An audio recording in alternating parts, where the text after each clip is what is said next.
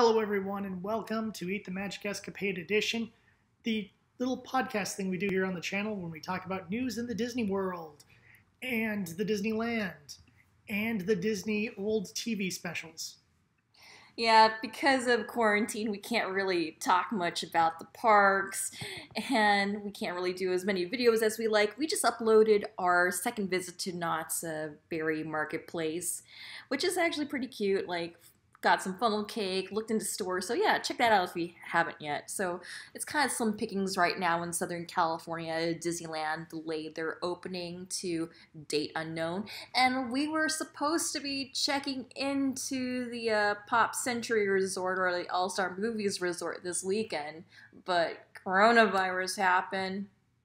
Yeah, destroyed our summer repeat to the world of Disney World adventures thing. I'm still kind of bummed out about that because I could be at Disney World this weekend. Yeah, we could be at Disney World this weekend. We could be at Epcot. We could be at Spaceship Earth. I could be on Kilim, uh, Kilimanjaro. not Kilimanjaro, the the safari one, the board, the watching animals poop. Yeah, okay, that's our sarcastic title for Kilimanjaro Safaris, watching animals. It was poop. Kilimanjaro safaris. I did say it right. You made me think I didn't say it right. Because I, I th- thought you were going to say Expedition Everest. No, 'Cause I wanna know that's your go-to. I want to sit on a boring ride and look at animals poop. I like that ride. Because you get to see like real animals, in animal for 17 hours to watch animals poop. Okay, so if you're going to go and come on Kilimanjaro Safaris, do it in the daytime when, Morning yeah. when they're like up and doing stuff. Don't do it after midday. lunch because that was our mistake because it became like, let's watch animals poop. Mm-hmm. Because you have me on Kilimanjaro Safaris like going like, oh god!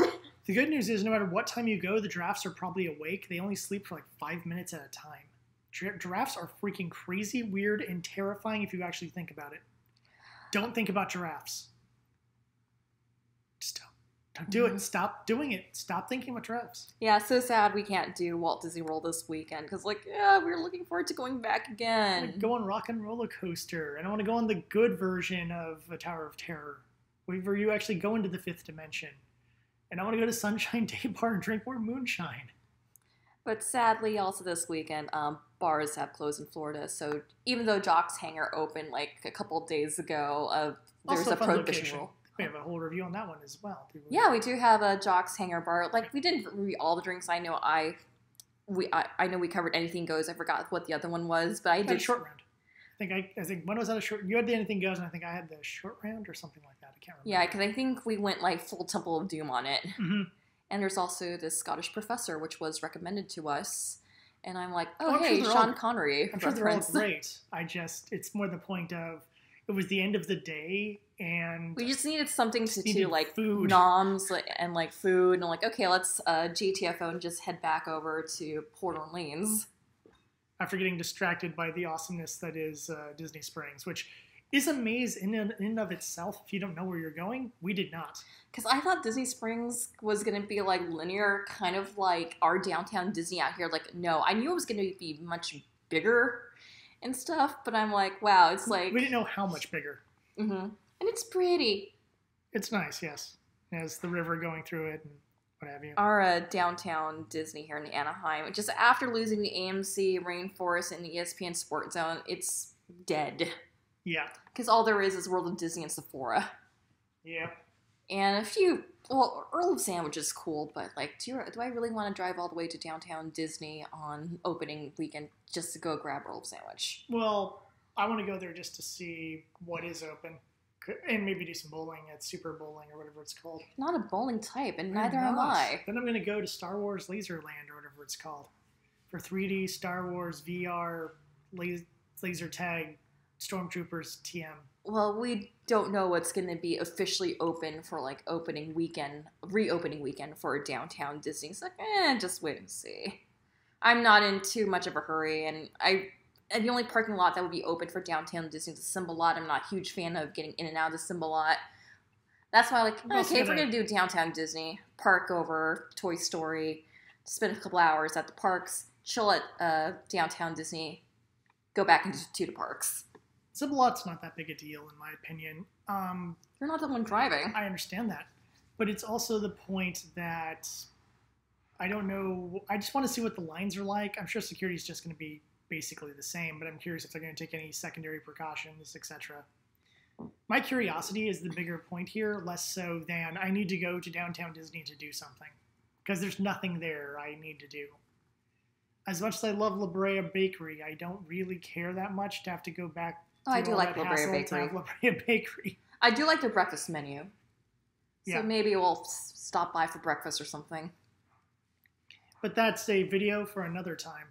Hmm Or we could do Earl of Sandwich. People keep telling us, like, yeah, Earl of Sandwich is awesome. I've never actually ate there. I usually, anytime I pass by Earl of Sandwich, okay, I'll grab a lemonade and then I'll be on my merry way. Yeah, by the same person who, who helped create the Hollywood Cafe. The Planet Planet Hollywood. That's what it's called. All right, let's talk about Ernest Goes to Splash Mountain. I know we've delayed on talking about the actual topic for most of this video. Don't all podcasts do that anyway? Yeah, I know. Uh, it's it's been a week, people. We're gonna go and talk about not being able to go to Disney World because it makes us sad, and think about the good things at Disney World that we couldn't enjoy even if we were there, like Jock's Hangar. But yes, we watched Ernest Goes to Splash Mountain. This was a special they did in the Late 80s. late '80s. It was. I remember watching this on the Disney Channel. I think this also played on at ABC. I wouldn't be surprised. because I feel like I had seen this before. I know you showed this to me years ago because something I think it was my one of the probably when I started doing my rant about how Splash Mountain needs to become Country Bear Mountain. You can listen to that podcast um, previously, like in our Splash a- Mountain podcast My whole last rant week. is in, in the last week's yeah, podcast. and you had like your ideas on how to integrate Country Bears into the infrastructure and layout of Splash Mountain. Yeah. And we will get to what has now been chosen as the successor. It does irritate me, only because my idea wasn't chosen, not because I dislike the idea. But this, I feel like I saw it. I, I something inside me just tells me I did. It's a relatively short. It's only about a half an hour special. Uh, shorter than that if you cut out the commercials. And it's framed like it's a news story about From Splash Mountain News Central. yes, which Apparently, Splash Mountain has like their own own news group. Are you telling me that the people in the Okefenokee swamp do not deserve to get news? That, that's pretty, like, coastal of you. Okay. Okefenokee swamp is where the stories are. It's, it's the setting. Even though they say nothing about that area of, I want to say Arkansas or Alabama. I don't know, somewhere in the south. Um, sorry, I never read these books. I just know they have that because the word Okefenokee amuses me. It's it's. It, I I was gonna it. say like okay, it's, it's, probably a Native American word, word, that just but I means don't want like to sound offensive. that means like something, but it's the Okefenokee is the, is the name of it. It's it's one of those Native American words, and to English speakers, it sounds a little funny. You know, like the other names, like Cucamonga and Seattle. It's a Simpsons joke. It's like how my fifth grade teacher thought like Roanoke was Ro- Roanoke was Roanoke. Yeah, that's just more of a pronunciation thing and what have you. In Hoot. But yes, we have all sorts of weird locations that have odd names like that, and yeah. But it is done like that. It's it's it's very tongue in cheek though, so it's not taking itself seriously at all. It's it's clearly meant to be a comedy special. But Jay, tell us who this Ernest person is. Okay, for those of you too young to remember, or who have never seen any of the great movies he, that are featuring the Ernest character, like Ernest Scared Stupid and Ernest goes to jail. eh, Go to Jail is Ernest good Saves Gil's Christmas and Saves Christmas. Probably the, probably the best trilogy. There's a bunch of others, but those are the ones to watch. I'd say yes. I haven't seen Ernest Saves Christmas in so long. Uh, the character began as a mascot for like a auto parts company. So you come on like, hey, Vern, oh, you're working on your car. Let me try. With these parts from such and such company, I can do to do to do to do. It was like that. And people really liked the character, and it was the 80s, and I guess there was a lot of cocaine flowing around, and people were like, we should just make this character more than just a uh, spokesperson for a company. And so then he got the movies. He eventually had a TV show. I remember loving that TV show as a kid. I have no idea if it holds up. I've never gone back and watched an episode of Hey Vern, It's Ernest. I do vaguely remember TV series, but I, I didn't watch it as a kid because I was kind of confused. Like being five years, old, like, wait, is the audience supposed to be Vern? Yes. Who's this Vern he's talking to? I want to see who this Vern Yeah, is. Vern, Vern is always the audience. So it's the way it's way it's um structured. It's like a second person kind of uh Yeah. structure. It'll be it, basically the camera is supposed to be the eyes of Vern uh, when he when it's doing that, like we did in the commercials, because it's always a first person camera moving around, and you are supposed to be Vern for whatever reason. And usually Ernest would get into some sort of misadventure through a massive misunderstanding because he's kind of an idiot. And that was kind of the joke of the commercials too. That like, you know, he's trying to fix your car, and don't have Ernest fix your car. Have you know Jiffy Lube or whatever he was the spokesperson for, you know, fix your car, Pep Boys or whoever it was. Don't get this guy.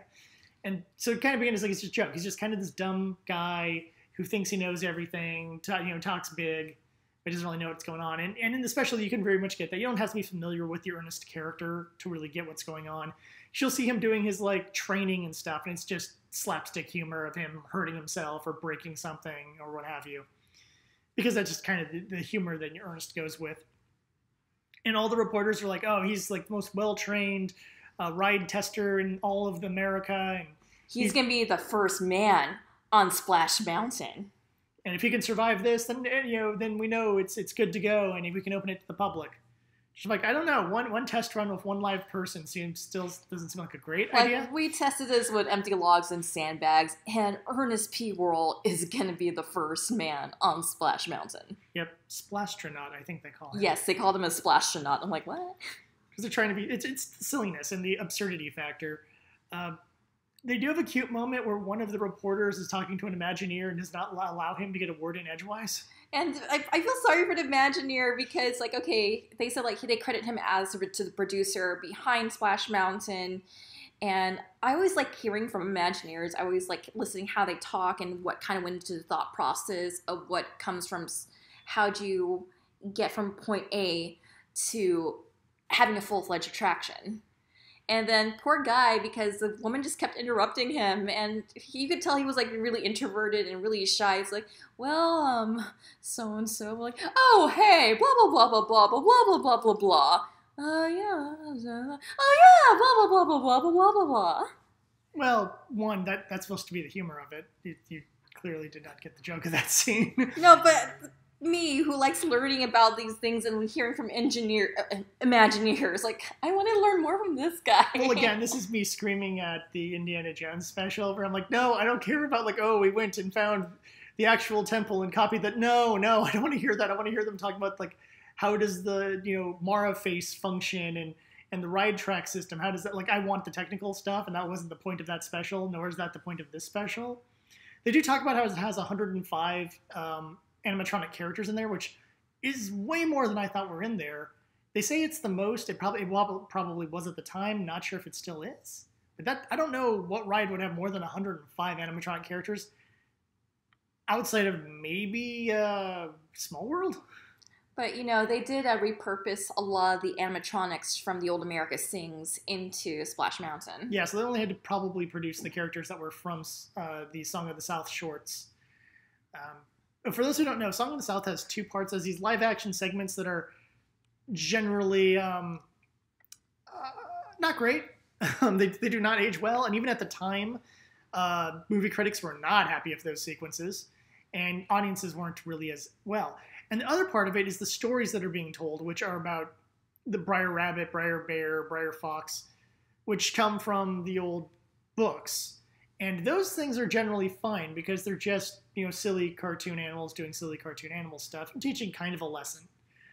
Um, I think those shorts they could probably put on like Disney Plus or something. I don't think anyone would uh, There's, I know there's one particular short that does not age well whatsoever. Oh, really? It's Brer Rabbit and the Tar Baby.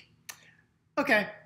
Um, they actually had to change that for Splash Mountain. Instead of the Tar Baby, they had to make um, Brer Rabbit um, into into like this um, merging with a beehive type thing. Oh, so he disguised himself to trick. Okay, that's. Ooh, okay, okay. I didn't know that was a thing. I thought they. Just... I literally had to look this up because someone had mentioned like, oh yeah, they still have the tar baby scene in Splash Mountain. I'm like, wait, wait, let me look this up because I probably would would know if it was on Splash Mountain, knowing how much trivia I know. Mm-hmm. And then I was just kind of like just reading up on this, like, oh, they replaced the whole tar baby sequence with Brer Rabbit and like a honey hive. Okay, beehive. The story I, I know and I remember and is major part of the ride is the whole oh no don't don't toss me in the river. I, I can't swim. And he's lying to them and they're like ha ha ha we're gonna toss you in the river for all the trouble you caused us. And then he just rides down the river back to safety because um, that's how he tricked them that time. And that one's like you know like oh it's not offensive. It's just this rabbit getting into trouble and then tricking the bad guys to you know send him on his way home. But Yeah, I didn't realize that was a thing. N- You know, never mind. Let's just let's keep this as a cultural artifact for the sake of hey, this is how not Teaching to- tools. Yes, thank you. Like the reason why we still have copies of uh, Birth of a Nation around. It's not a point of like let's celebrate this. It's more a point of like this was made and we should learn from this and we should be glad we are no longer in this era. Um, so yeah. yeah, going back to the special. So the way it's framed is um, Ernest is doing these various stunts at his house, and he's like, "Okay, here I am, like in my pool with floaties, just trying to see if I could handle um, the Splash Mountain. Here I am on a tire swing, and Vern is trying to spin me around to see if I could hand like handle like the forces of Splash Mountain. I like the uh, the dog sled or whatever it was. The dog dogs pull on the thing and then they just pull up before he's ready. And you have like this countdown clock. You got to see the. It's a visual thing, people. You actually have to see that one. It's streaming on YouTube. You can just look up Ernest uh, goes to Splash Mountain. I remember just as a kid, just kind of being a little bit confused because, again, even like as a little little kid, I kind of wanted to learn like behind the scenes. I kind of was also like as a five year old curious what Song of the South was all about because That it felt like it. Well, yeah, because of your family. because like I've never heard of Song of the South. Like, who are these critters? And they do touch upon Song of the South for like maybe thirty seconds. Like, oh, it's based on the adventures of these critters, and you just kind of like just keep it yeah, at, they, at they that. focus on just the animated segments there, and that's what all the creatures in the ride come from, and and and then a bunch else are from America Sings. And yeah, you're right. There's a little countdown thing because they're, they're it's, it's building up the hype, the hype, the hype. Uh, and then Ernest has like twelve minutes to get from wherever he is to to Anaheim to specifically um, the front of the line of Splash Mountain. Which I guess if it's massively reckless driving, because it's like, "Where's your friend Vern?" He's like, "Oh, someone accidentally crashed his car." Anyhow, I'm here now. and I'm like, "Oh, okay." and they parade him through like Main Street USA and and then into like the queue for Splash Mountain. And you have and then like this what scared me as a kid. So you can see this on our title card here. Um, so they have all these uh commercial break things with Ernest's uh, face with his jaw wide open. I'm like, okay, I remember that face scaring me as a kid. Yeah, that's like an exaggerated. He already does exaggerated facial expressions. It's one of the reasons why the character is memorable, and one of the reasons why Jim Varney's just an incredible talent. God rest his soul. But that's like an extreme version of his extreme like mouthing. That that reminds me of the Woody's mouth for Or a Toy Uh, Toy Story, Story, in, um, in right. uh, in Japan. Japan. Yeah, to look at that, people, that will terrify you, and you'll never want to go on Midway Mania in Japan. You're gonna look at that and go, "No, I'm good. I'm no, I'm yeah, it's fine." I'm sure it's the same as what we have here, except they're talking to me in Japanese. I'm gonna go on a different ride because yeah, that's a bit of an extreme version of his face. It looks like it's. I would almost say photoshopped, but obviously Photoshop really wasn't a thing in the '80s. But I, I think it's a tweak beyond like his standard facial thing. And I think it's supposed to be him like going like, "Whoa!" Like his like you know I'm going down a big you know I'm going down the five story drop face.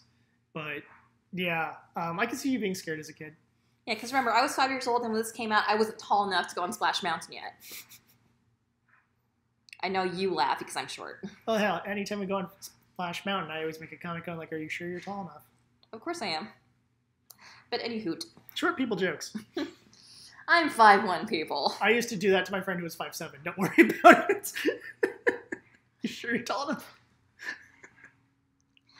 So you have Ernest going on Splash Mountain and being the ro- the attraction snob I am, like, okay, they're doing this out of order. He's already really are. in the It's mountain, weird. like, oh, and he's gonna go for the first drop. They're kind of like doing like a sports, almost like a sports commentary thing on this. Like, Yeah. um, Ernest is going for that first drop, and then I'm like, no, uh, that I, I think the first drop is F is like right before you go inside and meet our animatronic friends. Yeah, you have it goes up a little bit. You get the first drop, then you, which is really short. It's like the Pirates of the Caribbean drop or something like that. Mhm. And then you, yeah, you see the guys. You see some of the story going down. And you see him in a ventilator, like after the first drop. Yeah, Ernest is like freaking out to a level that I'm like, okay, I get the point. Is that Ernest is kind of an idiot and overreacts and stuff like that. Okay, that scared me as a kid because, like, okay, I don't want to die going on this. that's my thing. I was going to go into.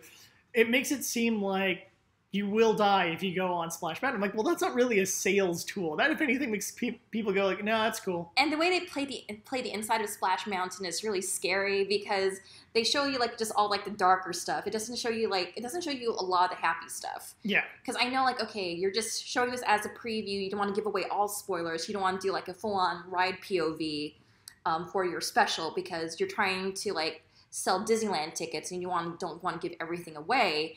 And just kind of like just looking at that as like, okay, this is a legit scary ride. Is this gonna be anything like Mr. Toad's Wild Ride where I'm just gonna be like sent to hell at the end? I don't know. So, and then like towards the end, you kind of see him almost corpse like. yeah, he's like catatonic or whatever when they pull him out. And I'm the- like, you, you look a lot like Mr. Ghost Hoster. Like, you should be like hanging on the rafters at uh, the Haunted Mansion. and then he's just there, you know, when he's doing the little after thing, like, how was it? He's like, oh, you there, ah. And he's just making little noises like that, and then it's like, well, you're a hero, artist. And he's like, thank you, and then just falls over. And then everyone charges into the queue. It's like, And yeah. they just uh, trample over, like, yeah, we're doing this. And I get the humor is that you know people are trampling over Ernest and what have you, but it's that point of like, oh, the person who's the professional, like, yeah, he just fainted from how intense this was. Let's all go on that. and the ride itself is not particularly intense. Even the five story drop doesn't really feel like a five story drop. And I just got used to it. Um, Splash Mountain It has freaked me out a lot more as a kid. As a, lot, as a kid, it felt endless. Mhm. And then I remember like when I got into college, I was like, I thought that was longer. it was a little moment Because like that was weird. now, now, nowadays, I can actually time myself when I have to make my Splash Mountain um, pose. hmm and like okay i know what pose i'm doing this time around. Splash mountain has like a special special place in my heart for me because it was like my first thrill, thrill ride um, when i was of height. Because i remember like yeah i originally didn't want to go on it because of this special. Like no i don't want to be catatonic after i leave the log. But i saw like this other special. It was also on abc it was the walt disney world splash mountain and it looks like they were doing a special for that one that tied in, I think, with an, an Easter special, and had like a bunch of kids who were like my age or slightly older. Like probably a little older. probably a If you little were- If you were like five or six, then I would. I was like eight um, at, at the. Oh, time when I was of height, and it's like they were like maybe like 10, 12 years old kind of thing. And then it shows like all these kids like on the log, and they're going, going like, "Hey, this isn't scary." Zippity doo dah, laughing place, blah blah blah. Shows all the happy animatronics. Mhm. And then I'm like, okay, if these kids can do it and live, so can I. So, parents and I, we, we uh, went to Splash Mountain '93, and then I I just loved it. It's like my first thrill ride, and I still have the photo of me um, going down like um, Splash Mountain when I was like eight years old. And you're trying to fight off the flies. So, I would be shocked. Um, and I didn't take a look at the credits, but I, I feel like if we looked at the credits, I would be shocked if Jim Varney's name is not in the writing credits. Not only because Ernest is acting very Ernest like, but a lot of the stuff feels like the humor, and probably the humor very similar to Hey Vern, It's Ernest. I bet if I watched through that, we'd find very similar clips, like the, you know, uh, tongue in cheek but very serious reporter, the person talking over the other person, the uh, you know Ernest getting overwhelmed by something that you know a kid can handle. But it, the thing is that I think if I was a Disneyland, I guess at the '80s that would be uh, that would be Eisner era. Yeah, there would be 89 with this uh, Which I guess aired. probably wouldn't be the person who'd be directly in charge of this. It'd probably be whoever was the parks manager at the time. I don't know who that is. My Disney history isn't that Eisner and folks. Wells, I believe. If I was that, I'd have watched it and go like, okay, this is great. Except for now, you made it seem like our ride is like the most terrifying thing in the world, and it's it's not. It's it's fun, happy, singing Southern animals, and then you know a big drop. Yeah, because when Ernest goes through the mountain, it's almost like that scene in Willy Wonka where they're going through scary Yes. boat ride. Scary boat ride. That's a great. That's a very good simile for those two. And I'm like, But it's happy music. It's like, how do you do? Like, oh yeah, fine, thank you. Hi possums, how are you? Hi Florida State State Animal. It's a bit, of an Easter egg. I don't, I don't know if it's Hmm. on our mountain. I just learned Mhm. about this like once learned reading up on Splash Mountain like uh, trivia. There's a FSU um, animatronic oh, that's cute. cheering for FSU. in like amongst the, they better keep that in the remake or the rething. Uh, overall, like I said, it, it's a fine enough special. You can get a couple chuckles out of it. It's not like you know groundbreakingly funny or anything like that. But uh, it seems like an odd marketing tool. I said the first time I saw this, I want to say like five years ago or something, whatever it was when you first showed it to me. And after you know watching it again, I'm like, yeah, still isn't that great of a marketing tool because like if you go to some of the other specials we've watched, you go to the Indiana Jones one, you know, at the end of it you have uh, John Rhys Davies and uh, uh, Karen Allen getting off the thing like, whoa, that was intense. Want to go again? Yeah, and like really excited about going on, you know, Temple of the Forbidden Eye again. Uh, if you go to like the Star Wars thing, you see all the, you see some clips of the footage, and it makes it seem really super exciting to get into a Star Speeder. I think it was a 3000 back in the day before they reject reduced it to a 1000 for some reason. And you could go on your Star Speeder 3000, and you could go and you know it, it looked exciting and fun. And we've seen other specials that make the rides seem exciting and fun, even if they over exaggerate them, like the uh, uh, whatever the anniversary special we end up watching, which we did the discussion here where Tony Danza's on the uh, Jungle Cruise and like everyone is being eaten by the animals. As I love that one with And- uh with uh Tony Fleischer, voice of Roger Rabbit, as the uh, Jungle as Cruise Jungle guy. Cruise guy. And We haven't actually reviewed that for the oh, show, I thought we did review that for the show. we'll, we'll have to do a we show for watched that recently. I thought we watched it so we could review it. We watched it so we could review it, but we were also distracted by just some other ancillary videos that followed after, Uh, was it one of like uh, this making of Star Tours starring Ernie Reyes Jr. which we didn't actually review. I just yelled about it from across the room while you were playing different specials, and I was probably working on a Gunpla kit or something. Uh, so yeah, we, we should definitely talk about that one. That one, that one is great. That's my favorite out of all the It's- anniversary double check specials. that we do not have a. no, we do not have uh, this 35th. Remember, I edit all these and uploaded them to YouTube, so I can do all the cataloging. Okay, but we've seen a lot of the specials that always make things fun and whatever. I mean, even like to just reference the 35th again. You have a part where Woody from Cheers is having a flashback about being a little kid and being scared to go in the haunted mansion and then meeting a cute girl and having a fun time on the haunted mansion. And is you know it brings up the scariness of the haunted mansion, but then also brings up the fact that no, it's it's fun. It's a party at the end. It's a swinging wake, and you know we're all gonna have some fun ghost puns Always like that. look on the bright side of death. So usually the specials do that. Even if something's supposed to be scary or intimidating, they find a way of saying, no, but it's also fun. Don't worry. Like you're, you're going to have a great time. And then this one is like, Ernest nearly died on this ride. Have fun, children. and I think that was probably the one direction they should have gone there, where where they should have gone with Ernest, like initially being really like, oh man, Vern, I didn't tell them, I'm not really a specialist at this. I just wanted to go on first.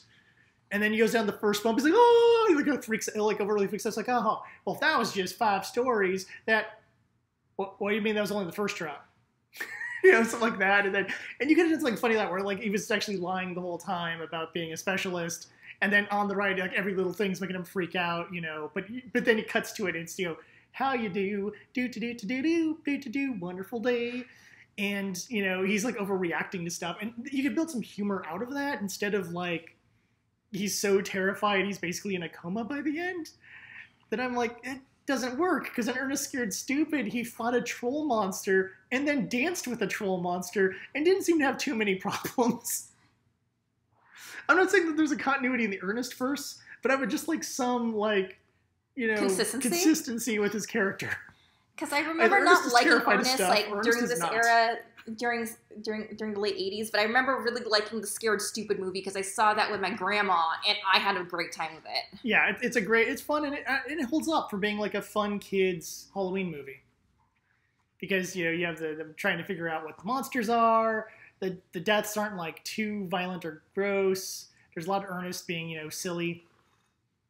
And Ernest is like friends with a bunch of kids, which kind of makes sense because he's just basically a kid as an adult. but I just think they could have done something a little bit better there at the end because it doesn't make me say, "Oh man, let's go on Splash Mountain now." After I watch this, it's like, man, that ending kind of is off-putting. But overall, as a special, I think it was it was pretty good. I'm surprised he didn't bring up any of his other like, you know, Jim Varney wasn't playing other people in the special, or if he was, I guess I am too visually impaired to have noticed. Nah, uh, it was just him. Unlike the uh, 30th anniversary special where he was uh, plays like half the characters. and Jim Varney was playing um his Oh, his father. yeah, he played his father and he played uh, adult Ernest and then Ernest's dad in the flashback. Yeah, which because that's what he used to do in like the TV shows. He'd play. He had different, you know, is Jim Varney dressed as different people to be, you know, the mailman or whatever. When they did, when he can act off, you know, like himself that way versus like his barber who is just some other guy. And now he's Slinky Dog in And, Toy Story. and he is passed, I believe. Rest in peace, Jim Varney. Sad. Not because of Splash Mountain, but much after. like I said, he's a very talented guy. He was able to do a lot of different voices and things like that. And then I'm looking at this special, and I'm like, this, uh, like I feel like there should have been a second draft of that script, just because I feel like the ending could have been handled a little bit better. But overall, you know, it's a cute, fun special, and Ernest was popular at the time, and why not get some little, little uh, corporate synergy there? Getting the, you know, I'm, I'm sure the Ernest TV show was probably on ABC, or maybe the movies were handled by Touchstone or something like that. I, I don't know. That was But- also during a time when Eisner was trying to get like this very different like IP that kids were into uh, that wasn't quite Disney to just synergize with the park stuff. That's true too. So I do appreciate for all those kind of things. I just kind of wish the ending had been handled in a way that makes it seem like it's fun. Or or he is like that, and then as you go through the zippity doo dah section, and there at the end, he's like, huh, huh, yeah, yeah, or, or he's a little bit dazed or whatever, and they pull him out. He's like, and then he suddenly he's like super confident guy again, like, yeah, it's the best ride I've ever been on. Yeah, I, I, I'm gonna go on again. Who wants to go with me? And then him with the huge crowd jump right on the the log again because he needs to like you know Because yeah, that's when he just comes out. I'm like, are, is this Mr. Gracie? Did they pull his body from the rafters? So it that's that's my point of view on it. I think he should have immediately snapped out of it as soon as the mic was in his face because it's like, oh, microphone, yeah, yeah, yeah, no, no, no, it was the you know, it was easy breezy, super great, yeah. Come on, everyone, let's go on again, and jumps on and see him for a bunch of people, yeah. And then it could have been on like more of a triumphant note instead of him being trampled after passing out, which is not great. And I don't find that funny either. I'm like, ah, it's funny that person's being trampled like I find it funny of like you know when he's being dragged by the dogs or when he gets spun around on the wheel t- on the, the tire too fast. The physical comedy stuff to me was funny. Even like I even got a couple chuckles out of the uh, reporter interrupting the Imagineer, but like Ernest just being like horribly traumatized by Splash Mountain is not funny to me, and I'm kind of like I.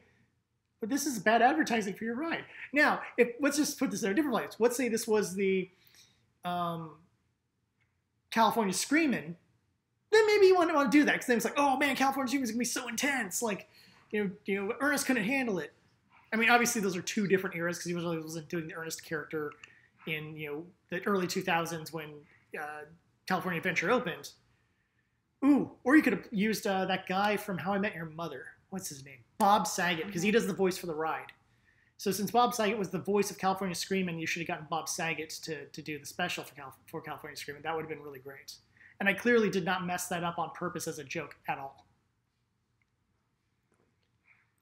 Anywho, so let's talk about like what's actually going to be coming to Splash Mountain. And we got the news uh, yesterday that Splash Mountain on both coasts, Disneyland and Walt Disney World, specifically Magic Kingdom, um, is going to be transformed into a Princess and a Frog theme tra- attraction. So let's get a few things straight here because I've been seeing a, people making a lot of assumptions.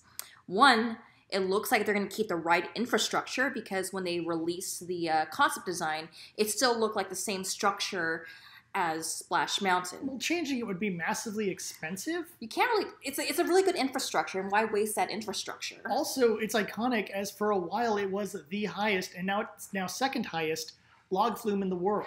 So why would you get rid of this un- unless you're going to modify it to make it a six-story drop? I don't entirely know what your plan is to do modifications on it. I mean, uh, characters and stuff. We, we can get to theming in a section, but I mean, in terms of changing the the flume part of the ride, that would just be really stupid because it's this iconic kind of ride, and to have to lose that would be a really bad choice. The second point is it looks like the change, the transition to turn Splash Mountain into Princess and the Frog has been discussed with within like the Disney Imagineering company for the past year because when they release that concept art, it looks super detailed. That's something that you, you can't finish in like less than a week and a half. Yeah, they were discussing this before it became a major internet topic for sure. I'm sure they've been discussing this for a while, so I'm sure there's been several different ideas passing evidence around. that backs this up, eh, anecdotal evidence that backs this up. A lot of cast members just kind of been going on record, like, yeah, the ride's been needing a refurb for like the longest time. Some of the animatronics aren't up to what they used to be because, again, a lot of these animatronic- animatronics, at least in the Disneyland one, were repurposed from America Sing. So you're dealing with animatronics from Ooh. the 70s. Yeah, that is that is pretty old tech there. and we compare it to the likes of the animatronics, uh, what they're capable of now. Like example, the Frozen ride in Epcot, um, what they're going to do with Beauty and the Beast in Tokyo. Uh, look, honestly, you can just go to Rocket Raccoon for uh, Escape from the Tower of Terror. And in that one, Rocket Raccoon seems like he's like there should be someone down there uh, muppeting, puppeting. I guess puppeting the she's not a muppet, puppeting the uh, the rocket the entire time, and it's not. It's all animatronic, and it just seems like you just there's this real life raccoon man like telling you how to save uh, his friends. and that's a capability of Disney animatronics now. And when you kind of look at look at Splash Mountain, like yeah, it's all cute. Like you see the kittens like at the end, right before you go to the showboat, you oh my god, it's so cute. But at the same time, like a lot of the animatronics and a lot of technology is very dated. So there's been a lot of talk amongst like cast members who handle maintenance, who handle who worked around Splash Mountain. It's like yeah, there's been a lot of talk about doing a refurb or a rehash of this attraction for like the longest time we just haven't gone around it because it's so low, low priority because you have people being hyped up for Avengers Campus. You have like Yeah, the rumors of like Tomorrowland being um, fi- fixed up and all. Or- Splash Mountain is just kind of like a tertiary kind of um, afterthought, and it's not till now. Um, the Walt Disney Company says like, "Hey, uh, here's our concept art that we've been working on for the past year to retheme Splash Mountain to uh, Princess and the Frog." Like I said, I think they've been. This has been on the. I think if we had any insiders, they would definitely say yes. We've been working on this for five, six years of just. What about this series? What about this movie? What about that? You know. Um, And knowing And- how the Imagineering company works, they always like just have parking lot ideas, like just brainstorm ideas that never really come to fruition. oh yeah, they just kind of like just them. are on the back burner. It's like, okay, we'll revisit this when the timing is right, or if there's a project that fits with it. Because I'm pretty sure that Imagineers have like volumes worth of attraction ideas that are in consideration or never even see the light of day. or even stuff that's like I think this would be a great way to to adjust this little dark ride, except for the cost and time and stuff is not really feasible at the time, especially when you drop like say a billion-ish dollars on an unnecessary expansion. Uh, when you do stuff like that, it sometimes screws up being able to do things that have needed to be done for years now. And I'm perfectly fine with this. I like the fact that this wasn't just a, oh my gosh, we saw five people on the internet say Princess and the Frog, and therefore we're going to do it, because that would seem like a really horrible marketing strategy. And that they've been thinking about this clearly. They're trying to keep the Southern stuff there, because a lot of the Southern stuff can remain. You're going to have to take out a lot of those hundred and some animatronics and replace them with characters, Princess and the Frog. Um, but you already have songs from that. You can have like the fun uh, Going down by you, yeah, you have that song, and at the end you can have the uh, the that reach a little bit harder, Yeah. something like that. yes. I like that So you already have your songs you can already insert in there. Um, And you can have like Tiana, and Naveen, and friends like just kind of like on a showboat type type thing, just kind Mhm. of waving, to to the people, the- to blowing everyone. kisses.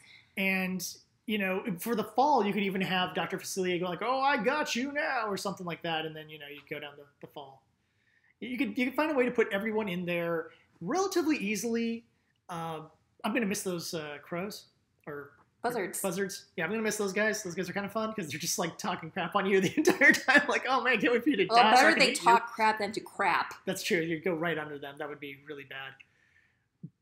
So I'm like, in terms of replacing animatronics, that would work really, really well. Like I said, you already have songs, so you don't have to worry about that, and you're still keeping the southern theming without, you know, uh, I mean, not that you need to keep the southern theming. There's no reason to keep the th- southern theming. Well, think about like Right. where each mountain is located within each part of the park.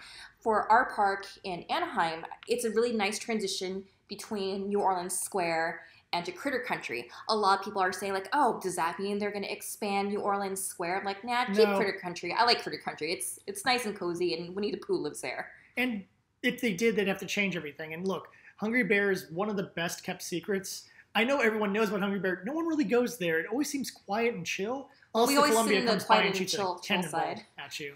Columbia shooting a cannonball. Uh, we'll get to that in a second. Um, I do have some thought thoughts on that. What was what ancillary ideas people have Oh, and yeah. also in Magic Kingdom, you also have uh, Splash Mountain is located in Frontierland. I can let it pass. which is kind of close to Liberty Square.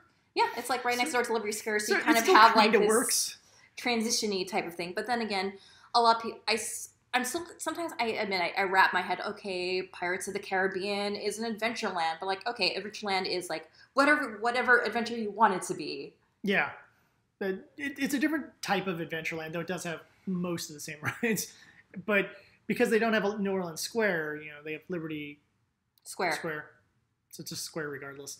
Uh, and they have different ships too, because they don't have the Mark Twain. They have the Liberty Belle, and I don't think they have the Columbia at all. No, they do Colum- not have Columbia. Columbia is exclusive to Yeah. us. They only have one boat. Yeah. And you said you'd uh, your preference is Liberty Belle, Um, only because it's narrated by Samuel Clemens because yeah, I- find that clever. South reasons. Um, I just find that clever. clever. So that's just kind of my thing of like, Mark Twain is just you know, older man voice. And, it's cool too because when you pass by Tom Sawyer Island, you actually do see references to the books there. Because Yeah, I had to do a double take. Why is that fence like Half half, painted. painted? Oh, oh, oh! so brilliant. Uh, I like the fact that yeah, the Tom Sawyer Island has Tom Sawyer references. It's, it's a clever idea. And as I said, I just like Samuel Clemens. I'm Samuel Clemens. I'm just a regular old uh, boat hand. Well, I'll tell you a little bit about these rivers and about some Americana. And I'm like, yeah, I, I think that's clever because that's what that was his job. That was his side hustle when he wasn't writing books. And because we already have a steamboat kind of there in Liberty Square, and it's close enough to Liberty Square, I'm like, this kind of works. It feels a little weird, but I'd also point out that like the South isn't the frontier like ever, unless you're talking about the Southwest, which is very different. And there's so many like um, cowboy-ish themed uh, log flume rides that doing yet another one would just be silly. Plus, Disney hasn't had a cowboy-themed property in a long time that's been successful because they had the Lone Ranger, which was uh, calling that thing awful is an insult to things that are actually awful. It's like a level below awful, like it's unwatchable. I really had high hopes for Lone Ranger, but like, uh, no. I liked well that's when I heard they're gonna make one. I'm like, oh, that'd be so cool. Yeah, I want a new action. You know, I want it to be what Wild Wild West could have been, and instead it was more like Wild Wild West than I really wanted it to be. With with uh, white guy as Indian. That's always it's always good. Is it bad I kind of 21st watched century. Again? We made that in the 21st century. Could could could have made Johnny Depp the Ranger, and then just gotten a Native American person. That wouldn't have been impossible. There are Native American actors, a lot of them, in fact. Um, or we could get Armie Hammer, who was good enough actor and who's fine as the Ranger, but and then put a white guy as, as the Native Americans. It's good. It's good. And you hoot. Disney, we're super woke, bros. Totally. Check out the Lone Ranger. Super woke that we had to set the alarm clock 10 minutes. Any hoot. hey, if the company's gonna try to like give themselves this air of we're super whatever, and I'm gonna point out that like not too long ago you were doing crap that says otherwise, yeah, I, I'm gonna point out that hypocrisy because hypocrisy bothers me. Isn't is that right, uh, Finn? And your I like treatments on the poster and in the movies. Finn, you had so much potential. I- No, we're super. We, we we love all races equally. We totally do. Mm-hmm. They just did Finn dirty. Like, I, I was standing you, Finn.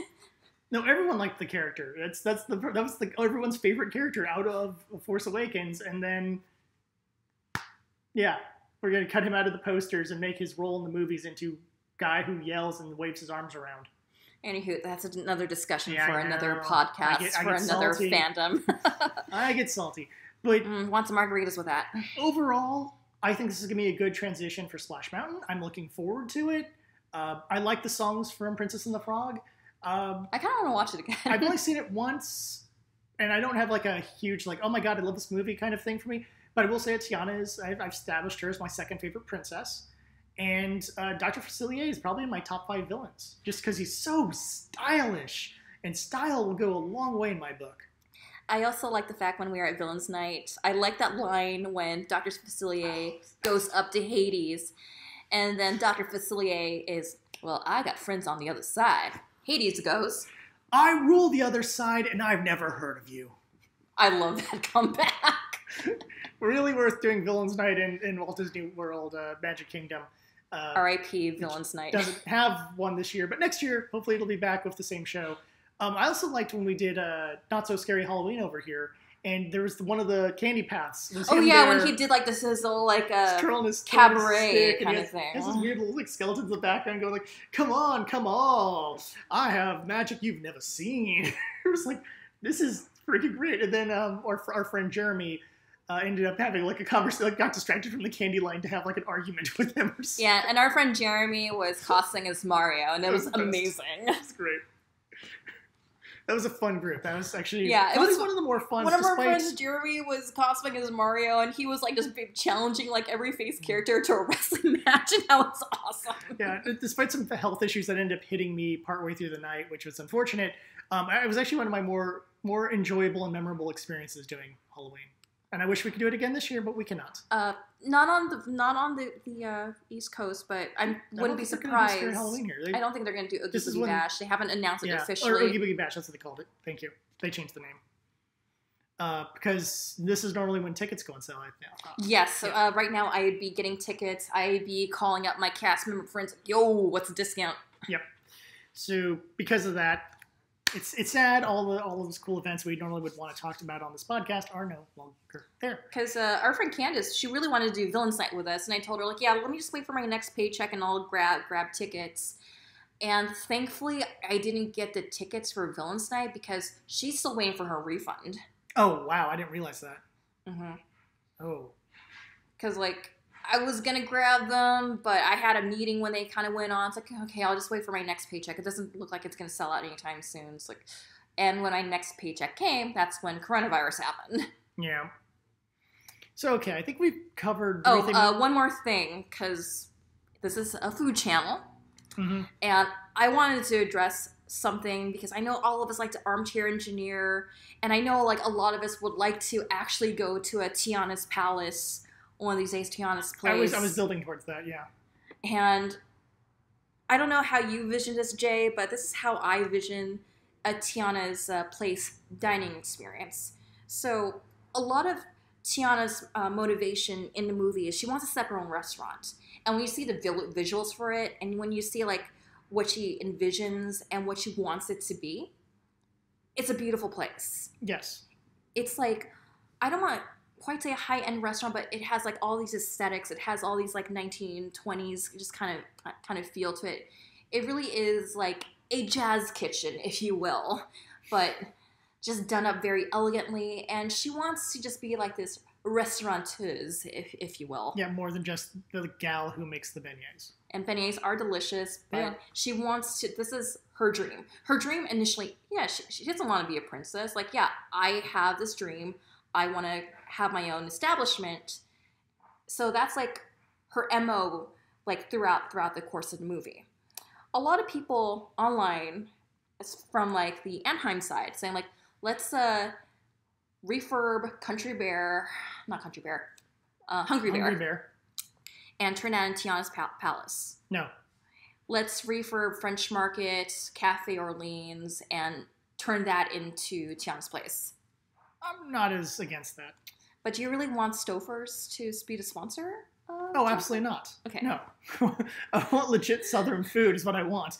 That's the reason I would want that. I don't want to lose Hungry Bear because Hungry Bear is like my secret. It's my laughing place.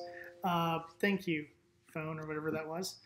Uh, because from my one, it's my brother's favorite uh, restaurant for a while when he was little. You know, because little kids like you know you get the chicken fingers, you can get the burgers, whatever.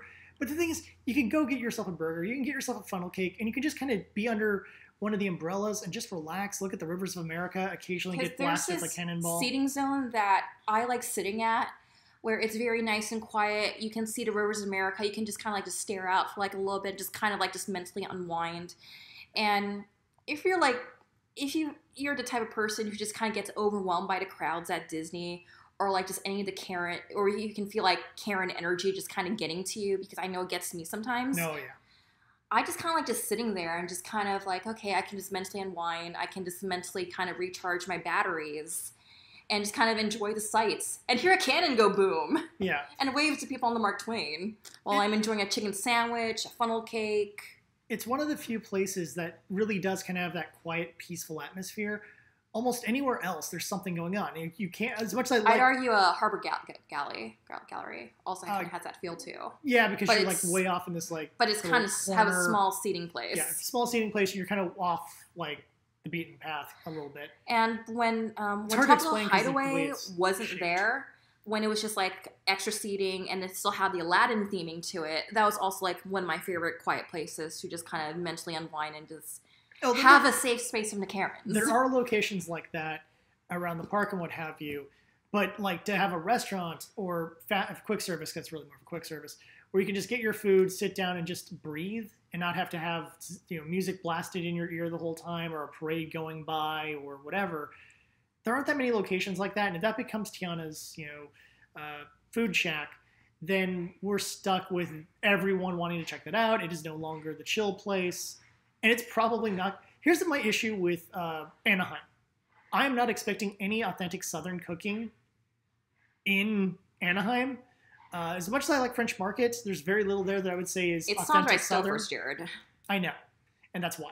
Uh, and look, I like Cafe Orleans. I will get my uh, my Monte Cristo. It is a delicious heart attack as a sandwich, and I love it. And I reviewed it, and I'll have it again. But the thing is, if I'm gonna have a southern, I want a southern place where like 50% of your ingredients is butter, and the other 50% is sugar, and then the remaining 50% is made up of actual food pieces. That's how Southerners Southerners cook. So when I look at the Or restaurants like the good Southern barbecue. Like So when I look at the uh, the way the layout is for Hungry Bear, French Market, Cafe Orleans, they're too small and it doesn't do Tiana's vision justice. I was thinking because our downtown Disney here in Anaheim needs more life oh breathed my into god, it. it does. Yes. I was like, okay, have partner up with Jazz Kitchen and turn that into Tiana's Palace. And you can also keep the quick service uh, section of that where you can pick up your beignets and still theme it to Princess and the Frog. Yeah. At least you get your, your fried food and what have you, and a few other southernish kind of things, or more southern than you would get from Stouffer's. Because when I think of Tiana's place, I keep saying palace. if it is palace, do do forgive me. Uh, it's just been a while since I've seen Princess and the Frog. Um, it's when I when I envision it, it is a sit down restaurant. It's not a quick service where you can just like just go up to the counter, order your meal, put it on a tray, and find find a seat for yourself. Yeah. No, this is like waiter checks you in. You sit down. Maybe there's someone on there. Maybe an alligator playing the saxophone. She wanted some, yeah, she wanted something a bit more uh, classy than you know the kind of place she was working at. She wanted to be a step above that. She didn't need to be you know uh, the Blue Bayou, but she needed to be a level above you know beignet baker at this greasy. I can't call it a greasy spoon because it's not a greasy spoon. It's not a good description, but like a kind of this small nothing you know restaurant place. And also, when you're thinking about theme park, um, theme park food, and this is something I learned after watching a video about this one theme park in Florida that tried too hard to cater to like be like an authentic Chinese experience and just ignore like the needs and wants of of of tourism because like I hate to say it like you're gonna have you're gonna need a burger and fries place because kids aren't gonna need, are are gonna want their burgers and fries like or chicken fingers or whatever. I'm I'm all about like exploring new foods. Like if you and I had little humans, or we ended up taking our nieces and nephews to Disney, of course we'd be the parents that were were like, "Hey, here's a, yeah, try, try this, try, try, try this." But every now and then, like, okay, chicken, chicken, chicken nuggies is a safe bet. Yeah.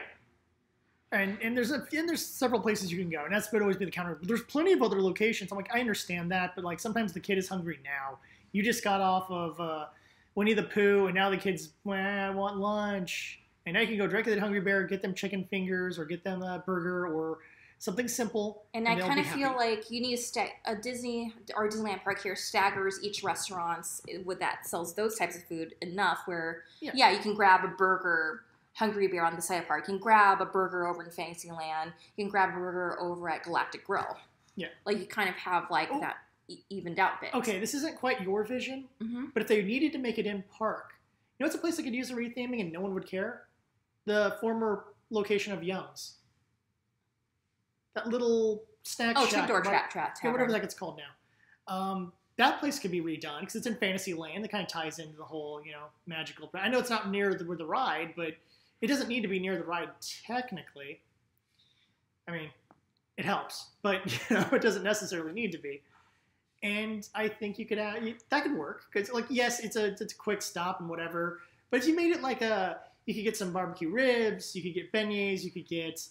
Uh, I'm trying to think of like the stuff that's not too off the wall because like catfish would be you need a bigger place to make some good catfish. I think that ain't gonna work there.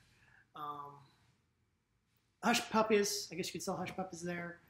Uh, maybe a little barbecue chicken or maybe some rotisserie chicken. Maybe you get some options there, and you could and you could probably make it in a smaller location like that. It's not really. I mean, you'd have to probably do some obviously some construction have to be done, and it wouldn't be like the most way of honoring. I, I think again, uh, retheming Jazz Kitchen or something like that's a great choice. Or just making an original restaurant in downtown Disney might be a good idea. Give people a we, reason we have to that go space there. now. Yeah, I want Jock's Hangar Bar to replace Rainforest Cafe. that would be wonderful. I would I would very much be happy with that. So honestly, I, I think the downtown Disney idea is the best. But if I can do that, you can again. We got that place right by Small World that needs to be that could be themed into something and it'd be fine. I still need to try their baked potato because I heard a load of baked potato is really good. But hopefully, when things get better, give the baked potato a try. Um, in over in Walt Disney World, I know there's been talk of having a Princess and the Frog themed uh, character dining over in at the Reflections Lodge. Oh yeah, we've been hearing that since for a while But- now. Yeah. Not gonna lie, like all resort construction is gonna be delayed. Oh yeah, this this year is a wash for any kind of development in theme parks. There's probably some stuff they're doing inside the parks, but there is there's no big expansions when you can't bring in a whole crew to build something. But I was quite surprised because I thought it would be a great fit over in um, any of Port Orleans resorts. That's what it seems like the obvious place to put it. Yeah, like have it have a, a Tiana's Palace or a character dining experience over either either Port Orleans resorts because the story behind um, Riverside is that this is Tiana's like home, and she also has a vacation home for her Disney princess friends. And there's a whole building for that one where you can stay in those specialized rooms. Which is kind of cool for anyone who wants to drop the money on Princess Room. Or anyone who's lucky enough to get like an upgrade. Yeah. I try to. Any upgrades But yes, it's my first not visit. Absolutely not pleb. Get in the. Oh, now I'm sounding like the uh, the uh, lady from uh, Monsters Inc. Welcome to Port Orleans. Sign up properly. Well, yeah, I, I really liked uh, Port Orleans, uh. Riverside. Um, but we've been told that Port Orleans um, French Quarter is also is an also nice one to stay at. And I know for Halloween and special events, they do have Princess and the Frog characters run around the uh, property because I remember like seeing photos from this year's Mardi Gras, like, oh my God, Louis running around. It's an alligator. I want to give him a hug. I love Louis. And yes, I, I would figure you figured they'd try to do some sort of thing like that. I think they wanted reflections to get a little more uh, families going there. That would This be is my true guess. because it is going to be on the higher tier DVC resorts. hmm But I'm like, moderates need some love too. Right now it's it's i'm very curious what they're going to be uh, putting priority to when it comes to the resorts over in walt disney world as things open up further because i know that they probably make more money off of the you know higher tier things but how many how are higher tier people you're going to really be able to bring out you know versus you know the uh, economy and the uh, mid tier Because I think if we're going to do like another visit to Walt Disney World when things get better, I think you and I would probably just go for a Valley Resort just for the sake of like saying we did it once. Oh, value, not economy, it's value. That's what it's called. The, Mm. the, the lower tier. Uh, yeah, some of them seem to be fine. And if I'm bringing my whole family, then Because I think uh, I your family would want to like stay at a villa, kind of like over example. I I have a feeling a beach resort, beach and yacht club might be something your family would like. knowing that's their aesthetics possible. and I, I think uh, and you and I can go to the Forest. I think Forest is Uh, Fort Wilderness. Fort Wilderness. That's what's called. Thank you. That's also a good- another good that fit one, for your family too. possibly uh, uh, Hotel of the Caribbean, the island one. Island. Uh, the mo- yeah, the modern I forget, forgot. Uh, Port Royale. That's not Port. But it's not Port Royale, but y'all who visit the theme parks know which moderate resort I'm talking about. Port Royale's uh, the location from. um, Caribbean the theme resort, uh, which might not be available because it's currently housing the NBA. Oh, Well, because they're going to continue the NBA season there. when I, I'm I'm surprised they're not doing that at All Star Sports Resort. I know, right? makes more sense to me. Um, But I think they want to have them at some place a little bit higher tier than All Star Sports. it also depends where you know who who in my family is going along because I could also see them being like, "Ooh, art of animation, that sounds really cool." Uh, so it just depends what family members agree to actually go on the trip. But if I do have family members, yes, I, I think we're not going to be at a value. I think we're going to, although part of animation is a value, I think. yeah, it is value, and I, that's one of the hotels I, I I could be be checking into this weekend because I was considering a value Yeah, value was going to be the after to my a little bit of, Mhm. of cash monies. because value resorts they can go from seventy a night to about hundred a night. which is very reasonable actually uh, considering this is this is a disney property and heck i've been to conventions where we can't get a hotel room for $100 And, and the moderates, you're we uh, we're looking at like uh, 250 ish on average. yeah And we were lucky to score a deal where we got 25% off our hotel plus free dining. yes And we are just kind of waiting for things to get better so Disney World can have their fire sales. Like, please come to the park. We have a fire sale. Like, yes. the big thing is if that happens say near the end of the year i'm wondering what my like chances are of convincing any, any of my family to go and do like a disney world christmassy kind of thing not on christmas itself that will be insane but i mean like Christmas 2021. Yeah. Christmas 2021 might be easier to pull off, yes. Or even in January. I mean, depending when my brother's school semester is. God, it's a lot of logistics to go on that we don't need to ramble on. Now we're rambling too far, even on this. But I do think that uh, I think a Princess and the Frog restaurant would be fun. You can have the jazz music playing. You can have uh, some good Southern cooking. Probably a lot easier to pull off in Florida, just because people know the kind of cooking that's supposed to be there, and people will know what to expect. But they just added that barbecue place, which would kind of cross over a little bit. So I, I'm not, I don't know. But I, I think if we get one over here, we need to revital. We need to do a whole story or a whole story, a whole episode here on how to revitalize downtown Disney because downtown Disney feels like a like a dying dragon, and I just kind of feel sorry for it. And I'm like, I want to give it a head pat, saying, "Oh, I'm sorry, Puff." Because that was like, the hangout place It when you and I were started started dating. yeah. It was it was a good place. So I've, I've been to many dates there, and uh, friend, you know, just go hang in there, friends, movies, so Especially when we do like do like movie premieres, family stuff. like opening weekend of movies. So yeah, it just became one of those places where it used to be the cool place, and now it's like the no place, and that's kind of sad. And I think that would be a good thing to go over next time, or one of these upcoming times. Mm-hmm. And maybe we'll hit up downtown Disney when it opens up again. But eh, let's just kind of see where this all goes. Because right now, given how California is right now with coronavirus, I'm like just kind of a little bit of bit ambivalent going on. Eh. Yeah. Anywho, wear a mask. All right. Well, thank you for watching. I'm sorry we rambled on on about 200 different subjects this time around, but hey, we did talk with the Ernest thing, so the, the title card is not a lie. And we will be back soon because this is our kind of only way of keeping this channel alive right now. Ish. Uh, please check out our uh, description to see ways of supporting the channel. And hopefully, when things open up, you will see me back at the parks, not only eating lots of food, but doing all sorts of other crazy things. So until next time, remember, even when you're stuck at home, you can still eat the magic.